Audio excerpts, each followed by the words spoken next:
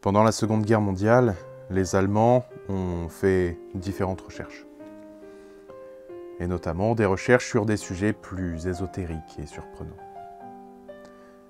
Des recherches menant à des découvertes intrigantes, perturbantes, étranges. Dans l'histoire de cette semaine, nous allons découvrir une de ces recherches. Est-ce que vous êtes prêts? Pour une nouvelle histoire au coin du feu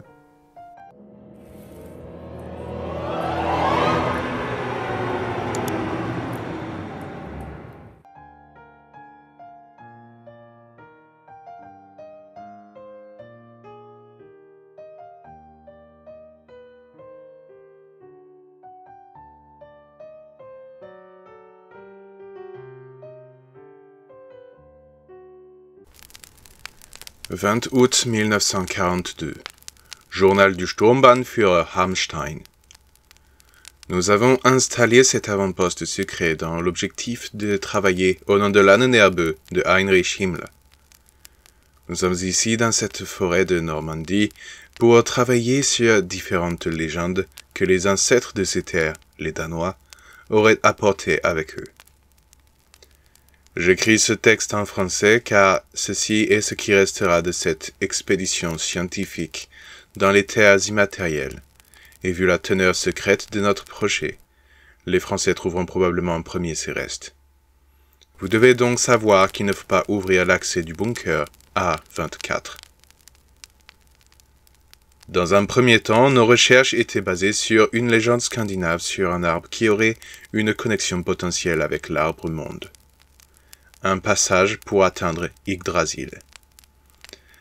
En effet, dans ce lieu, un arbre correspondrait à un portail vers cet arbre légendaire. Voilà pourquoi les Danois s'étaient intéressés à cette terre lointaine.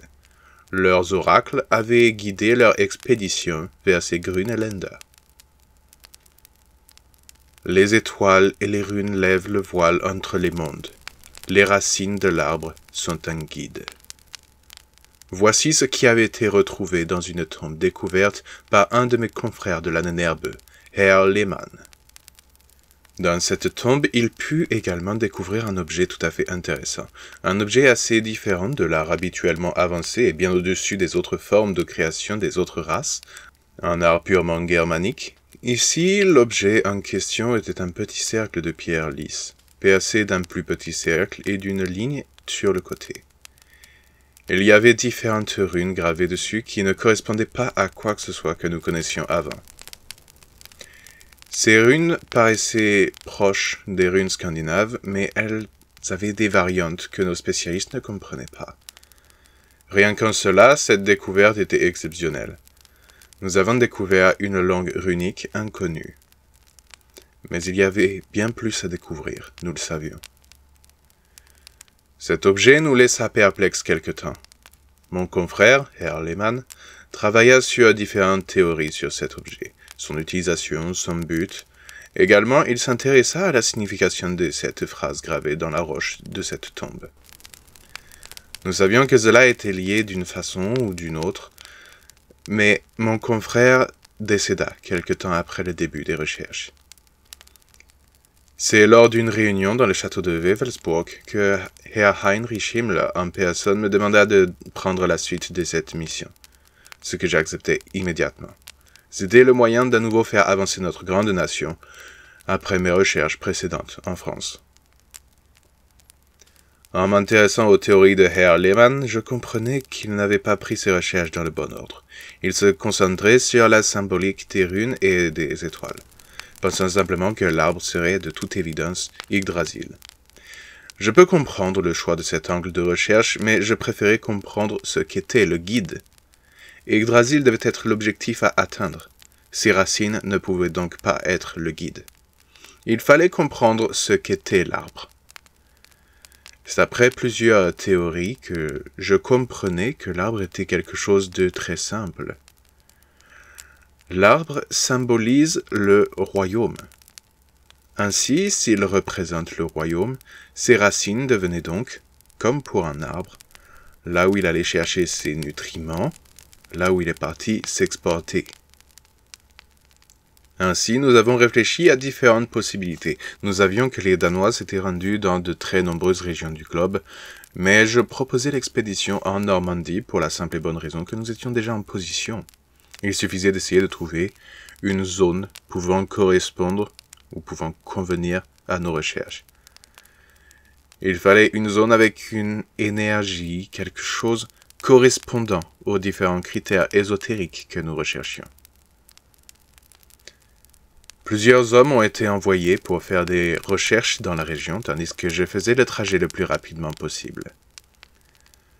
Nos experts ésotériques avaient signalé cinq points intéressants dans la région. Un aux environs de Dieppe, un aux environs de Lyons-la-Forêt, un autre à proximité de Fécamp, puis deux proches de Cherbourg. La proximité des points de Cherbourg m'intriguèrent, et ainsi je me rendais un premier lieu là-bas. Hélas pour moi, nous n'y avons rien trouvé. Sur la route, nous avons rejoint alors Lyons-la-Forêt, mais rien non plus. Finalement, c'est en atteignant le point de Dieppe, dans la forêt à proximité, que j'ai eu le plaisir de découvrir quelque chose. Mon esprit affûté me fit sortir instinctivement l'objet que nous avions découvert dans la tombe. La forêt me semblait dégager quelque chose de vibrant. Je me sentais en connexion avec cette puissance, cet esprit supérieur.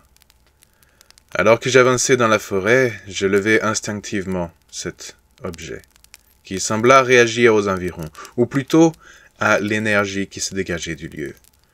Les runes sur cet objet se mirent à faiblement briller.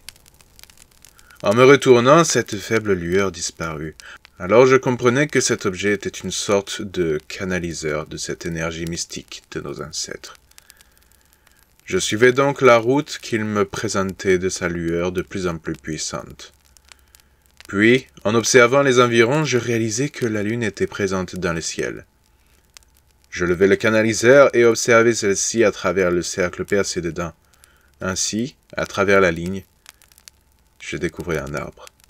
Il était grand, majestueux. J'appelai sur le champ mes hommes. La construction du bunker se fit à grande vitesse alors que je rassemblais mes chercheurs pour organiser nos fouilles. Nous avions bâti un bunker tout autour de cet arbre. Les tests pouvaient enfin commencer. Nous avons commencé par creuser sous l'arbre. Les enchevêtrements de racines rendaient ce travail laborieux, mais grâce aux efforts de mes hommes, nous avons pu nettoyer la zone de manière efficace. Ainsi, dans la salle de recherche du bunker A24, nous avions cet arbre suspendu par d'épaisses chaînes métalliques, ses racines étant désormais libres. Nous avions installé différents capteurs dans cette salle qui n'avaient de cesse d'afficher des résultats bien au-delà des normes. Il y avait, de toute évidence, énormément d'énergie s'échappant de cet arbre. Nous avons essayé différentes théories, nous avons essayé de diffuser des vibrations continues dans les racines, différentes idées qui n'ont rien apporté. Nous avons finalement remarqué quelque chose à la base des racines. Il y avait un creux dans l'écorce de cet arbre.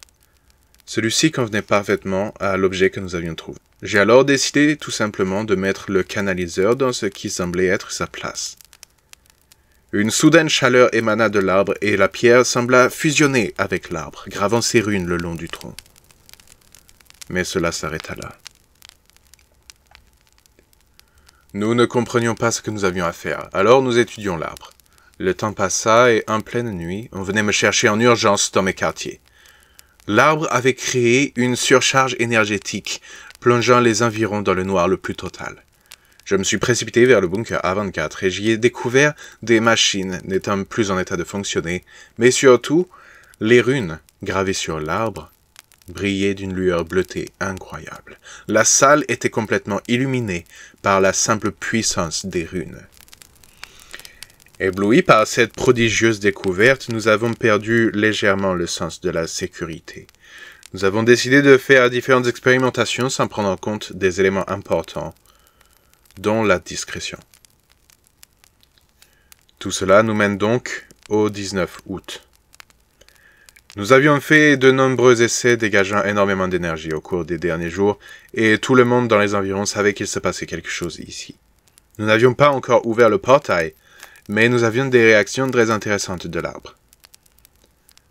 Mais ce jour-là, À 4h45 du matin, nous comprenions notre erreur. Les irènes me réveillaient en sursaut tandis que l'on venait tambouriner à ma porte. Nos ennemis venaient d'arriver sur les plages de Dieppe.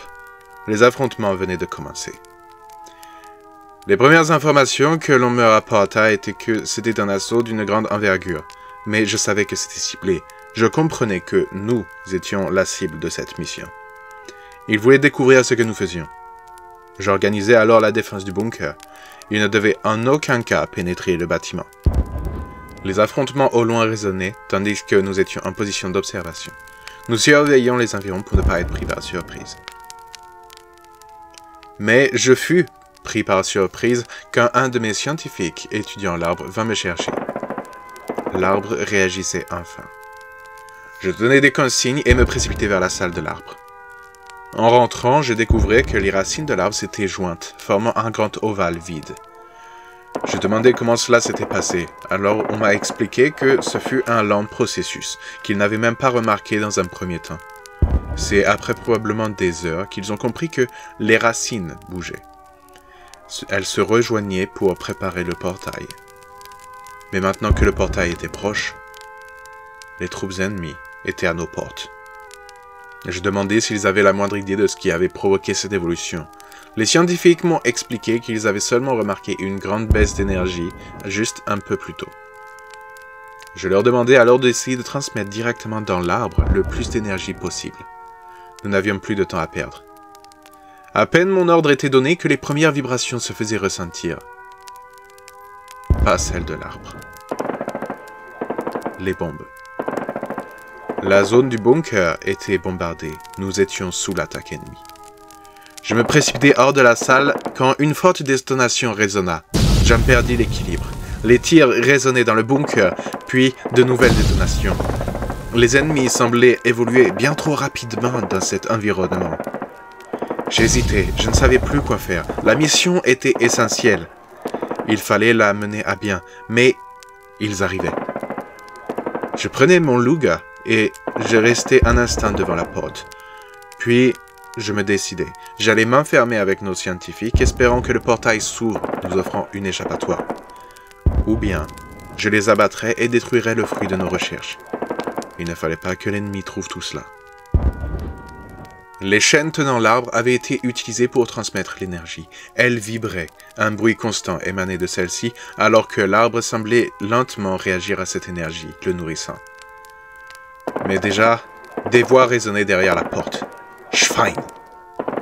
Je me préparais à abattre les scientifiques quand quelque chose attira mon attention.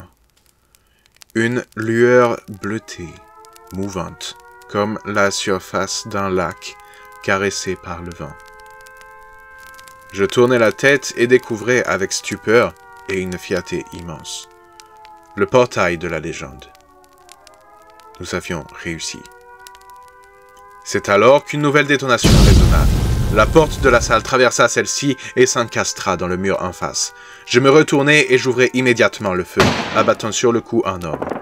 Je fis signe aux scientifiques de passer le portail, mais à peine eurent-ils le temps de s'approcher qu'un gigantesque tentacule sortit et en saisit deux, et les emporta dans un grondement terrible. Les échanges de tirs se stoppèrent. Tout le monde regardait le portail. Puis, plusieurs petits tentacules sortirent du portail, saisissant les bords et semblaient tirer quelque chose vers notre côté du portail. Alors je commençai à ouvrir le feu sur ces tentacules. Je fus accompagné par plusieurs soldats qui jugèrent bon de mettre de côté nos différends. Finalement, nos pauvres balles n'étaient rien comparé à la puissance de cette chose. Nous vîmes une sorte de bec sortir, puis je ne sais combien de tentacules qui se saisirent de tout ce qui était dans la salle. Elle les dévora, en jeta d'autres dans son monde. Ma chance fut de trouver une grenade par terre. Je la jetai vers la chose et bondissais vers la sortie. L'explosion fit peur à la créature. Mais à peine passée la porte, elle lança un de ses immondes tentacules vers moi. Heureusement, j'eus le temps de m'éloigner suffisamment. Je découvrais avec horreur le massacre alentour. Mais pire encore, l'entrée et seule sortie du bunker était effondrée. Je suis enfermé dans ce bunker avec cette chose. Je ne sais pas quand vous trouverez mon journal, Je les jetai comme je pouvais à travers les décombres. Ne venez pas me sauver. Assurez-vous que personne ne trouvera ce qui se cache ici. Eh bien, il s'en passe des choses dans les forêts de Normandie. À votre avis, qu'est-ce qu'ils ont découvert? Qu'est-ce qu'ils ont vers quoi ont-ils ouvert un passage? Qu'est-ce qu'ils ont pu découvrir dans leur euh, folle recherche? Est-ce que c'était vraiment un portail vers les différents mondes d'Yggdrasil?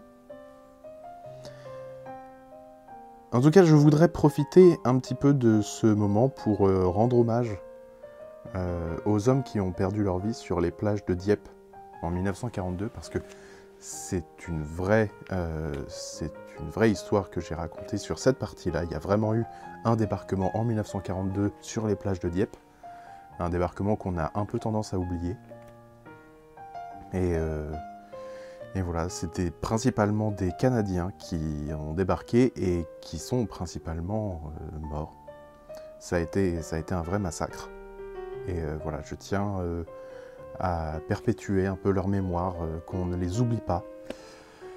Euh, d'ailleurs, dites-moi si ça vous intéresserait que je fasse une vidéo là-dessus, parce que c'est pas forcément euh, le genre de sujet que je traite, hein, les sujets typiquement historiques. Mais je me dis, j'habite pas si loin que ça de Dieppe. Je pense que je pourrais peut-être contacter un musée ou un truc comme ça et essayer de faire une vidéo peut-être un peu intéressante dessus mais c'est un sujet qui est assez différent de ce que je fais normalement.